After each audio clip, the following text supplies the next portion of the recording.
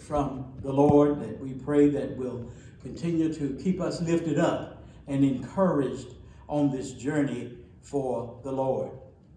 Today we want to share with you from the New Testament, from the first epistle of Peter, Peter's first letter uh, to the church, uh, chapter 5, if you will, First Peter chapter 5, that we might share a word with you as we continue in this celebration of what the Lord is doing, has done in the lives of the people here in Red Oak, North Carolina for the last 150 years. From First Peter chapter 5, we want to read from these two verses that says in chapter, in chapter 5, uh, verse 10, Peter says, But may the God of all grace, who called us to his eternal glory by Christ Jesus, after you have suffered a while, perfect, perfect, establish, strengthen, and settle you. To him be the glory and the dominion forever and ever. Amen. I want to talk today, as we have been talking throughout this month, uh, from the thought of prayer. And I want to talk today from these verses and surrounding verses about the prayer of Peter. The prayer of Peter. On the first Sunday of this month, we started the year off of preaching on prayer as we used the prayer of King Solomon as he dedicated the temple to God and prayed that the temple would be a place that the people could meet with God for their needs, and especially when they sinned, that they could meet there with God and find forgiveness for their sins. The second Sunday, we talked about the prayer of King David, the father of Solomon, as he asked God to lead him in a plain path. Even though King David had enemies all around him, he still wanted to do the right thing as he represented God. The third Sunday, we talked about one of the prayers of Dr. Martin Luther King Jr. as he prayed for strength to love his enemies. As we talk today, I want to talk about the prayer of Peter um, you recall that these are one of the many prayers of Peter, and that as we look at the scriptures, that oftentimes we read and we reread and we read through, uh, but sometimes we uh, don't recognize that what we are reading are parts of prayers that people are praying for the saints of God. And so today, as we talk about this, you will recall that Peter was one of those disciples that Jesus chose from the fishing trade to become a fisher of men. Peter was one of those that often got things wrong. Sometimes, as we say sometimes uh, in our uh, vernacular today, that uh, Peter would have the, uh, his mouth going without his brain being engaged, sometimes seemingly. We remember that as one of his disciples, that Peter went to sleep on Jesus at the hour of prayer when Jesus told his disciples to stay here, to tarry here and watch while I go yonder and pray. When he returned, he found Peter, but not only Peter, but the other disciples sleeping on him. People said, Peter said that he would not deny Jesus, but as the trial of Jesus started to progress, Peter denied knowing Jesus. In spite of Peter's shortcomings, Jesus saw something in him that was solid so Jesus called him Peter the Rock. As Peter prays in our text today, he prays because he sees something in the leadership of the church that is worth encouraging. Peter wanted to engage the power of God in the lives of those who were leaders in the church. He wanted them to know that Christian leadership, no matter how small the role, is a privilege that is granted by God. Paul reminds the church at Ephesus in Ephesians 4 and 11 that he himself gave some to be apostles, some prophets, some evangelists, and some pastors and teachers. Paul notes that he himself, meaning that God gave different gifts to different people. When we think about our different gifts, we ought to not be envious or jealous of the gifts of others because God is the author of whatever gift it is that we have. God is the author of the gift and the grantor of the gift. So leadership is a privilege that is granted by God. and it ought not to be taken lightly because as Ephesians continues in 4 and 12, he says that for the equipping of the saints, uh, for the work of the ministry, for the edifying of the body of Christ, for the ministry of the Lord. Peter was a leader of the church of Jerusalem and was one of the most influential leaders of the first century. And he prayed for pastors and leaders around him. Peter had taught the church how to act and what to expect as the believers struggle with persecutions. Sometimes in life, we all struggle with some form of persecution. The persecution is often used by the devil to try to destroy our faith. When I think about, about our founding fathers in days gone by, the founding fathers of this church, uh, this branch of Zion, if you will, and how that just a few years from slavery that the Lord had led them to establish a church in this community. Can you imagine how the devil must have dealt with their faith? Freed from slavery, but no goods to live off of. Freed from slavery, but no land to make a living off of. Freed from slavery, but nowhere to lay their heads, if you will. I, I, can imagine that they remembered somewhere along the way in hearing Jesus' words that foxes have holes and birds of the air have nests, but the Son of Man has nowhere to lay his head. Oh, how the Spirit of God must have encouraged them. No wonder they would find somewhere to have a praying ground in the community. They, they use their God-given gifts for the equipping of the saints, for the work of the ministry, for the edifying of the body of Christ. They prayed one another through, as we say nowadays. We must continue to do the same for ourselves and the generation to come. In this present society, life is becoming more and more difficult. We deal and live in a time when we, uh, some don't know the truth and some don't accept the truth. Some don't want to face the truth and some believe that there is no truth. So we accept the truth of God and as we accept that, then we must learn to pray one another through, if you will. As saints of God, as we believe in the truths of God, then we have to stay on bended knees that we might be able to pray one another through. Prayer, if you will, engages the mind of God in human affairs. Prayer engages the eyes of God as he watches over us. The scripture teaches us that not one sparrow falls without his knowledge, and, and, and we're more valuable than many sparrows. Prayer involves the ears of God as we listen to as he listens to the prayers of his people and, and, and prayer engages the nose of God as he smells the sweet aroma as we praise and worship him.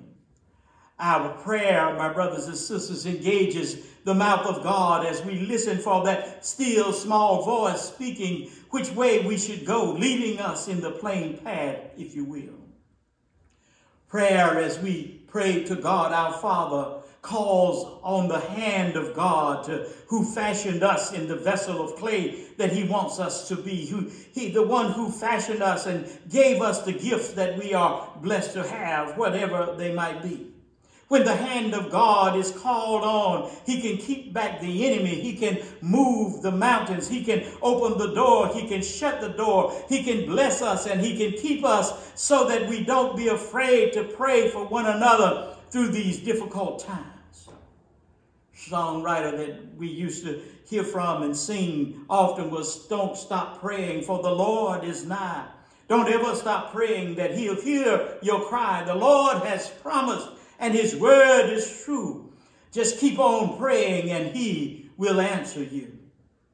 Peter alerted the church to persecution from within and sometimes without because the devil, like a roaring lion, is always seeking for whom he may devour. Peter concludes his first letter by telling the pastors here how they are supposed to act, that they are to serve willingly. As leaders, we are to serve with joy, not begrudging the work that is before us. We are to serve humbly as Christ set the example for us. We are encouraged to wrap the apron of humility around us and go on out and serve and serve those on the outside so that they may come on the inside and serve those on the inside so that they may become stronger so that when the chief shepherd appears that they too can receive a crown of righteousness. Our service, my brothers and sisters, is not about us, not about what we will win, but it's about who we reach out to. It's about uh, those that we will help to come into the fold so that they might be a part of the kingdom, that they might be joint heirs uh, with Jesus, our Savior, and with all of us. And that when the Lord calls us, that we can too receive the crown of righteousness. Come, come and listen to me now. Listen with us as as we listen to Peter now as he starts to engage in prayer uh, from our text for the people. In verse 10, Peter says, But may the God of all grace who called us to his eternal glory by Christ Jesus.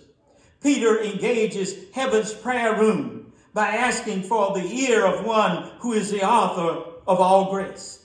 He does not call on the God of some grace, but the God of all grace. You know the unmerited favor of God. You don't deserve to be where you are. I don't deserve to be where I am. But because of God's grace, he has called some to be apostles, some to be prophets, some to be evangelists, some to be pastors and teachers.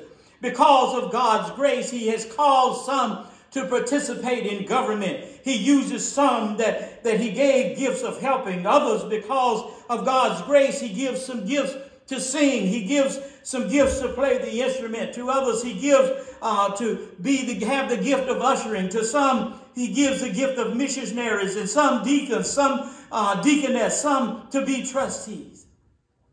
But in all of these places, his grace has been instituted. It is and, and we are called on to put on the apron of humility and serve. Listen, if you will, the call to the labor. The ministry before us is a call to his eternal glory by Jesus Christ. We are called into service for the Lord, called to be attached to the vine and bear fruit as we studied recently in our Sunday school lesson.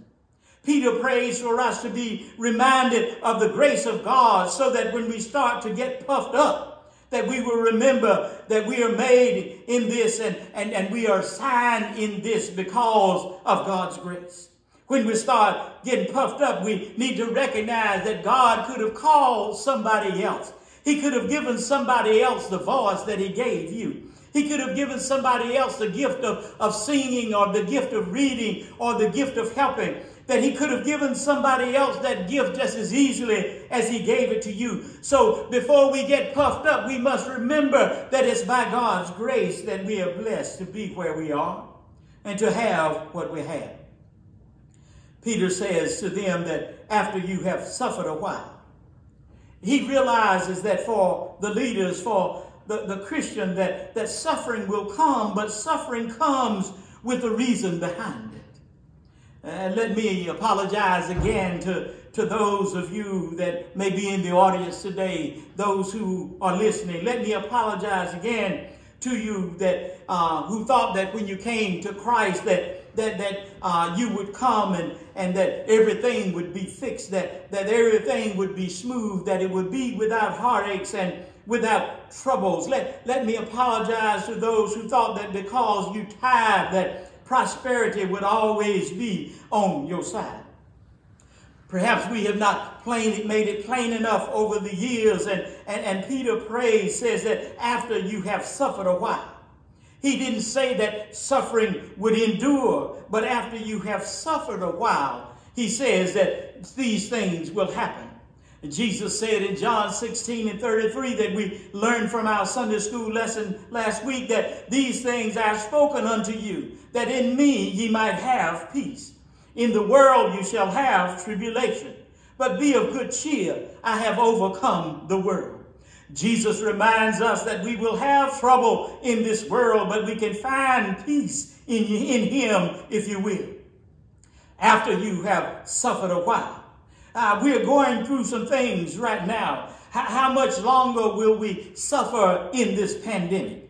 How long will people have to suffer in areas where wildfires have destroyed in other areas where volcanoes have erupted, in areas where earthquakes have shaken down houses and broken up streets. How long will suffering endure where flood waters have washed away houses and lands and automobiles? And, and, and will the people of Ukraine suffer if Russia invades? Will the people of Russia suffer if economic sanctions are enacted upon them? Will America and her allies suffer from Russia's backlash? That, that, that we, we are those in America who claim the name of Jesus continue to have the freedom to worship without fear of persecution. Peter reminds us that suffering is on the agenda. He says that after you have suffered a little while, he says that suffering will occur for a little while. But then he prays that the suffering will have a positive effect on our lives. First of all, he says that his prayer is that the suffering will perfect you. As scholars say that the wording used here actually means mend your necks. We remember from Matthew 4 and 21 that going on from there, he saw two other brothers, James the son of Zebedee and John his brother, in the boat with Zebedee, their father, mending their nets. He called them. This was the call of the early disciples to become fishers of men. They were mending their nets. They knew it was not profitable for fishermen to go out fishing with broken nets the fish would be able to escape. Peter prays perhaps that through the suffering, the people will come to realize the call on their lives. As Christians, we need to mend our nets. When the net is broken, the fish can escape. When the net of God's love is broken, people escape back into the world. The church must be a mending place for those who are suffering. No matter which part of the net you try to escape from, that the love of God ought to catch you there. That there ought not to be any breaches in the love of God, in his net of love. That, but wherever people try to backslide, wherever people try to step out, that God's love ought to be able to rescue them. Peter reminds us that suffering would cause them to see the holes in their nets so they would know what needed to be repaired. Uh, you can't fish well, my brothers and sisters, with broken nets. It's just simply not economically profitable. And likewise with the church, we can't fish with broken nets. It's not economically or it's not spiritually um, uh, uh, progressive, if you will, for us to fish with broken nets. Secondly, Peter prays and he says, the suffering will establish you. Suffering will bring us to the place of, of finding where we stand, of finding out who we are in our suffering, we can be bitter about it or we can grow from it. Suffering can push us up or it can pull us down, depending on our choice. In her book, Confessions of the Sharecropper's Daughter, Dr. Pajela McCall talks about those times of being a sharecropper on the farm in the South. How that her father had no education. The owner of the land didn't want them to get an education. They owned no land uh, often went without proper food and clothing, but the suffering pushed them forward. They didn't allow it to bring them down. While others were pulling them down, they had a mother who pushed them up. As Peter prayed, it was a push up for his people in his prayers. It was a push up, if you will, for his brothers and sisters instead of, of letting the devil bring them down. The scripture teaches us to pray for uh, all those that are in authority above us. But as we pray, my brothers and sisters, and we are obedient to the scripture, that as a people, we ought to pray for the pushing of Kamala Harris and, and our black leaders because there are still those who judge by the color of our skin rather than the content of our character. We ought to pray that even in suffering that it will motivate us to be able to press on in life, that it will push us forward and not pull us back, that it will push us closer to the kingdom of God. And thirdly, as Peter prays, he prays for them to be strengthened, if you will. Jesus, if you remember, prayed for Peter because the devil desired to sift him like wheat. The devil desired to bring Peter down, but Jesus wanted to lift him up. Jesus knew that Peter would face hostile powers, so he prayed for him that when he had found strength, that he would strengthen his brother.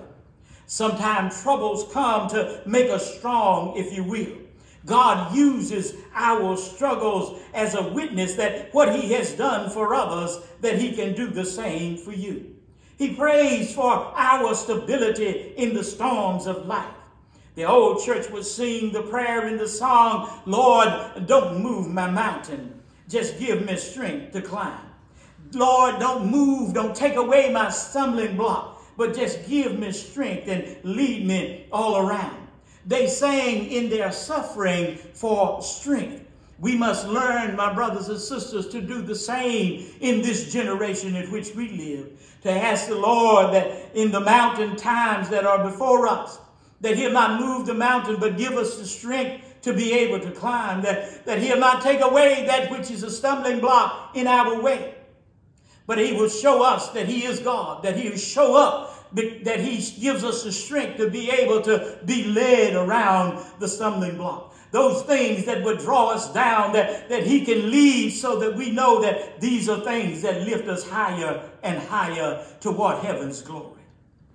Lastly and fourthly, Peter prays for the Lord to settle them in their suffering. Oh, that, that, that's a, a, wonderful statement, a powerful statement there that, that as Peter prays that, that, that he wants them to become settled in their suffering.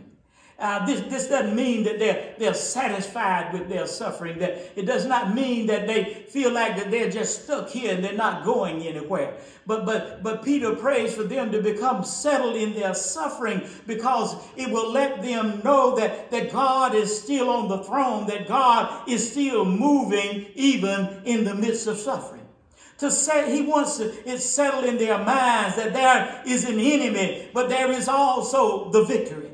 Peter gives us a glimpse and he gives us a hint that after you have suffered a while, he wanted it settled in their minds, and we need to settle it in our minds that suffering won't last, that the enemy won't last, that the enemy will not win. He tells us in his word to put on the whole armor of God so that we can be shielded from the fiery darts of the devil. Anybody today got it settled in your mind, in your heart, like the hymnologist wrote time again or uh, years ago that I'm pressing on the upward way. New heights I'm going, gaining every day. Still praying as I'm onward bound. Lord, plant my feet on higher ground. Oh, I want to live above the world.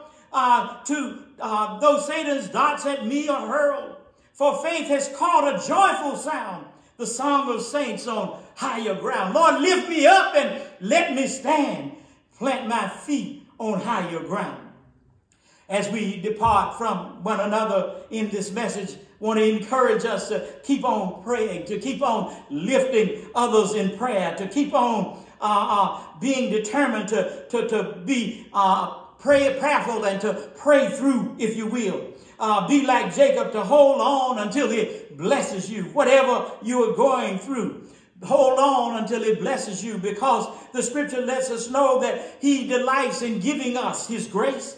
He resists the proud and he gives grace to the humble. He gets joy in lifting you. Therefore, the word says, humble yourselves under the mighty hand of God that he might exalt you in due time. It's all right, my brothers and sisters, to be of the ladder. But we ought not to try to get up the ladder before it's time to get up the ladder, if you will. And so the Lord says that if we'll humble ourselves in the sight of him, that he will exalt us in due time. When God exalts us, then we can stay where we are. When God exalts us, nobody can bring us down. When God exalts us, he continues to get the glory. When God exalts us, it settles things in our minds. It, it helps us to mend our nets. It gives us strength. When God exalts us, when he raises us up as we lift him up, my brothers and sisters, then, then he has promised that he will draw all men unto himself. When Peter finished praying, he lifted God in the doxology of praise. As he said, to him be the glory and the dominion forever and ever. Oh, my brothers and sisters, as we think about Peter's prayer, that, that there are things that we can copy in our lives, that we can remember that in everything, in all situations, that we can keep on finding strength through Him to be able to give God the glory and to recognize that His is the dominion, that His is the power forever and ever. Troubles may come. We may suffer for a little while, my brothers and sisters. Things may not be like we want it to be. But we have a God who declares to us that he has dominion over everything. His son, when he got up on the third day morning, declared that all power in heaven and in earth was in his hand. And so, my brothers and sisters, nothing has changed, that that power still belongs to him. His is the glory. His is the dominion. His is the power. His is the glory. Keep on praying. Let the troubles push you forward. Don't let them pull you down. Keep pushing ahead. Keep pressing on that you might win the fight and that you might be victorious in Christ our Lord. Let us pray. Lord, we pray now that your word would not go out and come back void, but again that it would accomplish that which you desire. That as you speak to the hearts of people today, pray that you speak to that soul that is near as hell, that soul that has never confessed you as Lord and Savior. We don't know how long life will last, but we know that today, as you've declared in your word, is the day of salvation. Pray that you reach some soul through your word, through your spirit, that would confess you as Lord and Savior, receive you into their lives as their Lord, believing that you are the Son of God, believing that God has raised you from the dead, believing that you have the power of salvation, that, that the plan of salvation is finished in and through you. Thank you now for what you do. In Jesus' name we pray. Amen. Now, when to